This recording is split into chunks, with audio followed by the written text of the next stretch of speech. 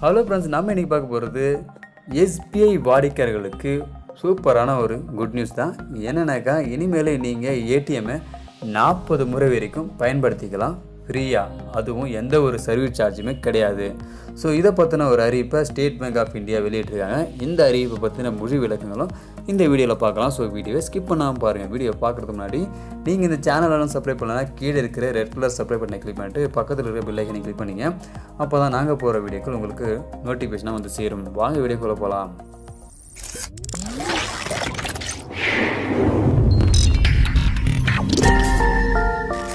Subscribe to my channel.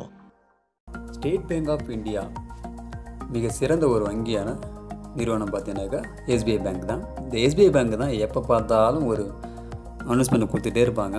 இந்த announcement ஒரு சில நேரத்தில் பயமாக தான் இருக்கும். ஸோ அந்த வகையில் பார்த்தீங்கன்னா இப்போ ஒரு புதுசாக ஒரு அனௌன்ஸ்மெண்ட் கொடுத்துருக்காங்க.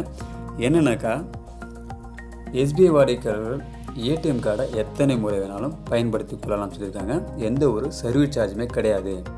முன்னாடியெல்லாம் பார்த்தீங்கன்னாக்கா ஏடிஎம் கார்டை நீங்கள் யூஸ் பண்ணணுன்னாக்கா மூணு முறைக்கு மேலே நீங்கள் யூஸ் பண்ணாக்கா அதுக்கு தனியாக சர்வீஸ் சார்ஜ் கட் பண்ணுவாங்க. ஸோ அந்த மாதிரி சர்வீஸ் சார்ஜ் எதுவுமே கிடையாது. ஸோ நீங்கள் நாற்பது முறை வரைக்கும் நீங்கள் ஏடிஎம் கார்டை பயன்படுத்தி கொள்ளலாம்னு சொல்லிட்டு ஒரு சூப்பரான குட் நியூஸ் சொல்லியிருக்காங்க.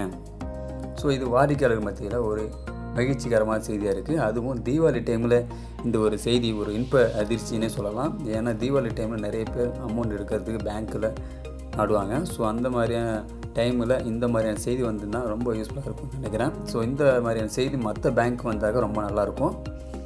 ஸோ அது மட்டும் இல்லாமல் நீங்கள் ஏடிஎம் கார்டை எத்தனை முறை வேணாலும் பயன்படுத்தி கொள்ளலாம். முன்னாடி மாதிரி மூணு முறைக்கு மேலே பயன்படுத்தினா நான் அமௌண்ட்டு கட் பண்ணணும்னு சொன்னாங்க. அந்த அமௌண்ட்லாம் இப்போ கட் பண்ண மாட்டாங்க. அதே மாதிரி ஒரு ஏடிஎம்லேருந்து இருபதாயிரம் வரைக்கும் தான் எடுக்க முடியும். ஸோ அதுக்கு மேலே நீங்கள் எடுக்கணுன்னாக்கா முடியாது. அந்த மாதிரி லிமிட்டு நீங்கள் வேறு பேங்க்கில் போய் எடுக்கணுன்னாக்கா தனியாக சர்வீஸ் சார்ஜ் பண்ணுவாங்க. ஸோ அந்த மாதிரிலாம் கிடையாது. அந்த விஷயம்லாம் இப்போ தலைகீழாக மாறி போய் சொல்லியிருக்காங்க. அது மட்டும் இல்லாமல் ஏடிஎம்மில் நீங்கள் இருபத்தஞ்சாயிரரூபா உங்கள் அக்கௌண்ட்டில் மெயின்டைன் பண்ணிங்கனாக்கா நீங்கள் ஏடிஎம் வந்து நாற்பது முறைக்கு மேலே பயன்படுத்திக்கலாம் சொல்லியிருக்காங்க. அதான் ஒரு சிக்கலான விஷயம். நீங்கள் ஏடிஎம்மில் பணம் எடுக்கணுனாக்கா மினிமம் பேலன்ஸை மெயின்டைன் பண்ணணும். இருபத்தஞ்சாயிரம் உங்கள் அக்கௌண்ட்டில் இருந்தால் தான் இந்த பயனை நீங்கள் யூஸ் பண்ண முடியும் சொல்லியிருக்காங்க. அதே மாதிரி ஒரு லட்சம் அல்லது அதற்கு மேலே மினிமம் பேலன்ஸ் வச்சுருக்கிறவங்க அன்லிமிட்டடாக நீங்கள் ஏடிஎம்மை எத்தனை முறை வேணாலும் செக் பண்ணிக்கலான்றாங்க ஒரு நாளைக்கு. ஒரு நாளைக்கு இல்லை ஒரு மாதத்துக்கு எத்தனை முறை வேணாலும் செக் பண்ணிக்கலாம் நீங்கள் அந்தளவுக்கு ஒரு பெனிஃபிட் கொடுக்குறாங்க. அதே மாதிரி நீங்கள் இருபத்தஞ்சாயிரத்துக்கு குறைவாக மினிமம் பேலன்ஸ் வச்சுருக்கவங்களுக்கு ஒரு நாளைக்கு எட்டு முதல் பத்து முறை மட்டுமே அனுமதிக்கப்படும் சொல்லியிருக்காங்க. ஸோ மினிமம் பேலன்ஸ் வச்சுருக்கிறவங்க பார்த்து யூஸ் பண்ணிக்கோங்க. இருபத்தஞ்சாயிரம் மேலே வச்சுருக்கிறவங்க எத்தனை முறை வேணாலும் பயன்படுத்திக்கலாம் ஸோ இந்த நியூஸ் வந்து ஒரு குட் நியூஸ்னு சொல்லலாம். ஸோ நீங்கள் எஸ்பிஐ வாடிக்கையாளர் இருந்தீங்கன்னாக்கா இந்த செய்தியை பற்றின கருத்துக்களை கமெண்ட் பண்ணுங்கள் ஸோ இந்த செய்தி யூஸ்ஃபுல்லாக இருக்கும் தான் லைக் பண்ணுங்கள் நீங்கள் எஸ்பிஐ வாடிக்கையாளர் இருந்தீங்க கண்டிப்பாக ஷேர் பண்ணுங்கள் உங்கள் ஃப்ரெண்ட்ஸுக்கும் நிறைய பேர் தெரியாமல் இருப்பாங்க. அவங்களும் ஏடிஎம் கார்டை அன்லிமிட்டாக யூஸ் பண்ணுறதுக்கு ஒரு ஹெல்ப்ஃபுல்லாக இருக்கும். ஸோ இந்த வரவேற்பு செய்தி பார்த்தீங்கன்னாக்கா இன்னும் இந்தியன் பேங்க்கு கனரா பேங்க் இந்த மாதிரி வங்கிகளை வந்துச்சுன்னா ரொம்ப யூஸ்ஃபுல்லாக இருக்கும் மக்களுக்கு.